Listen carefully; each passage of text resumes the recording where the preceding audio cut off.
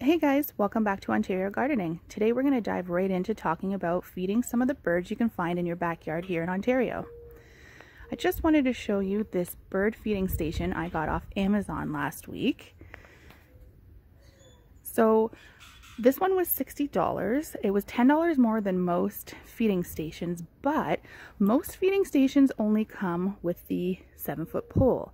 For the extra $10, this one actually came with five different feeding tubes. So the value for the extra $10 is amazing because if you go to Walmart or even the dollar store, you're running a few dollars for each and every single one of them. So this $60 piece could quickly become $100 if you're not careful. So we're going to look at what types of food we're putting into these feeders and what types of birds that might attract to your yard. So the first feeder we have is just your generic wild bird food tube feeder. This is the one that came with the kit. This is the bird food that everybody thinks of when you talk about feeding the birds. Everyone runs out and gets the mix, which is perfect because it attracts a bunch of different birds because it has a bunch of different bird seed in it. So if you're looking for something that's just a quick pour and go and something that you can find year round in the store, this is the perfect feeder for you. This is the one that I have, I've had for a long time. And this is the one that will stay out all winter as well. So speaking of winter feeding here in Ontario, I just want to talk about that really quick. The reason we use a feeder like this with an overhang on it is because we get so much cold and wetness and snow here in Ontario that if you leave your bird food out and it gets wet, it actually develops harmful bacteria to the birds. So a simple solution for this is just getting a bird feeder that, like I said, has an overhang or has some sort of protection for the seed from that cold and from that wet. The second feeder that came with this station is the small mesh feeder. Now this is perfect for holding smaller types of blends um, such as Niger seed, thistle, and that attracts all of these smaller little birds. So you're talking things like your goldfinches, your juncos, your chickadees, and these are perfect feeders because they're a lot less messy. You don't typically put things in here that has shells or that's going to make a mess on the ground. So this is great if you're looking for something that's not messy and it's super easy and small little seeds to attract the tiny little birds. The next type of feeder we have is the larger mesh feeder, and this is perfect to hold things like peanuts. And peanuts, oh, fruit blends as well go great in here. So you, uh, you can do trail mixes, nuts, um, pieces of apple or orange. These are great for attracting things like your woodpeckers, your blue jays, and your bigger wild birds. Do be warned though that it can attract your squirrels and your chipmunks as well. So you might want to steer clear of that if you're not interested in having those little rodents in your yard. The other thing to note about putting fruit in a feeder is the other types of animals that you might have in your yard. For example, I wouldn't use a trail mix with raisins in it because I have dogs and raisins aren't necessarily great for dogs. So if they get on the ground and my dogs come along and eat them, that could be a crappy situation. So just be mindful of what you're putting inside of there. And the other thing to note with fruit and those type of things, if it's not dried fruit and it's fresh fruit, it's gonna rot pretty fast. It's gonna attract insects and other types of raccoons and that sort of thing. So it's gonna be have to ch be changed frequently. So just be mindful of that if you're not looking for a lot of work. Peanuts, honestly, easiest way to go. The side of the pole for this one came with this tray here that just attaches to the side. And these are perfect for your ground feeding birds. Now, if you're not familiar with ground feeding birds, not all birds in your backyard can actually perch or land on a bird feeder and they like to peck things off the ground. Things like that would be your mourning doves, your grackles, blackbirds, and the larger birds like that. So with that being said, I didn't know that. So for the longest time, the birds would come and shake and shake and shake my feeders and put all of the bird food all over the ground and essentially out of my feeder. And I didn't know that that was because they were bird feeding, or sorry, ground feeding birds. So this is perfect because it comes with a tray for them and they leave my bird feeders alone.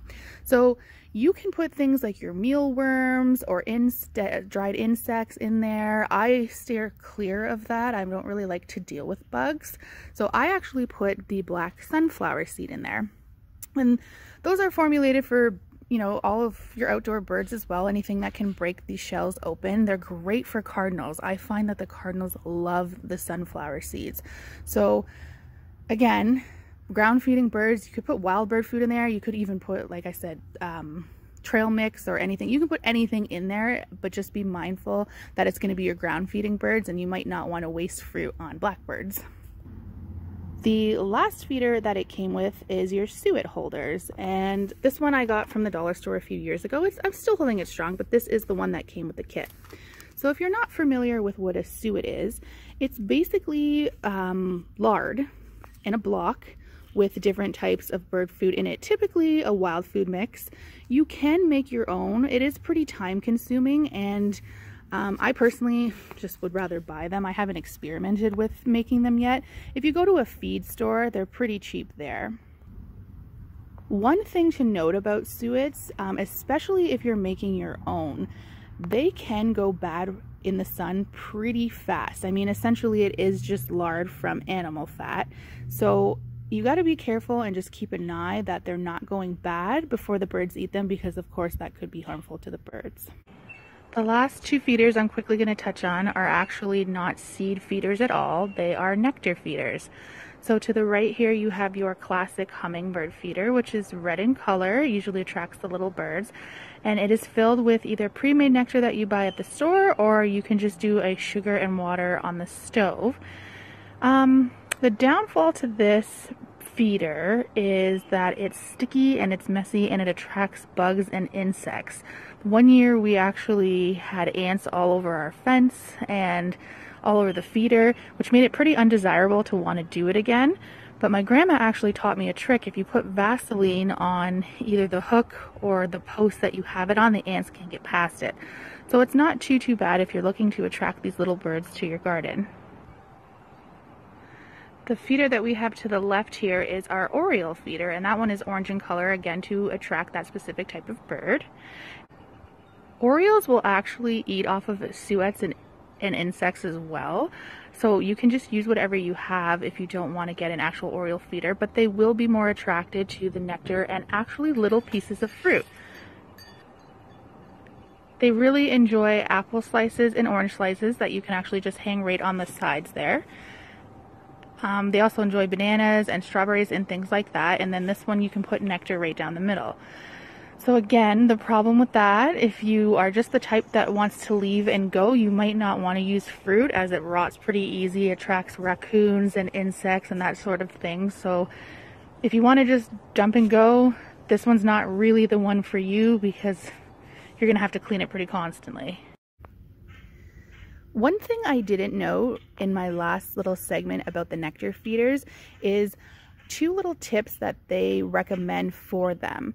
The first tip being that you should usually put your nectar feeders away from your other seed feeders. And the reason for this is because hummingbirds and big birds tend to get very territorial with one another.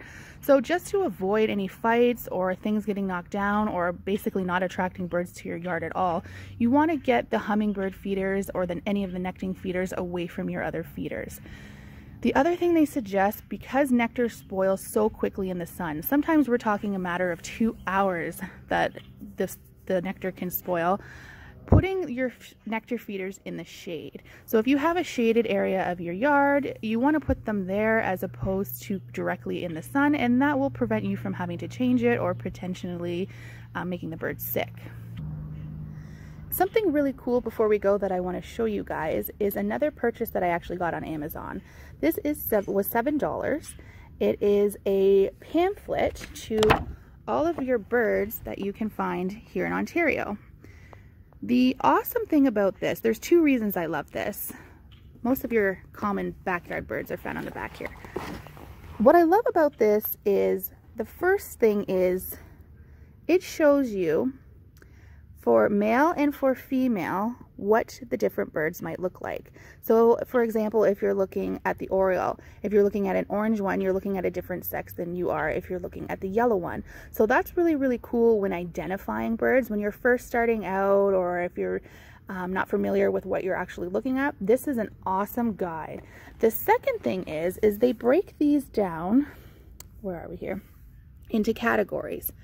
So when you're looking at starting a bird feeding station, or if you're just looking to start feeding birds at all, you can look at the different categories and get an idea of what type of food you're gonna need and what type of feeder that you're gonna need.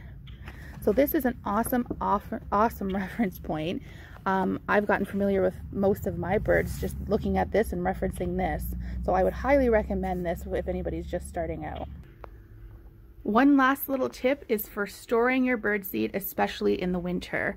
We have little mice and chipmunks and critters that like to live in our shed in the winter time. So we went to the dollar store and we got these cereal containers and we put our stuff in the cereal containers. They're a hard enough plastic that they can't get through, any of the rodents can't get through to eat it. And it's also really cool because they have the easy pour spouts because they are cereal dispensers. So it makes it super easy for pouring your bird food into your feeders. So that's all for today. I just want to thank you for joining us again and listening to my spiel about the birds. Join us next time where we're going to do a really cool video about what we can plant in the next week or so in April here in Ontario in our vegetable garden. Thanks so much. Bye.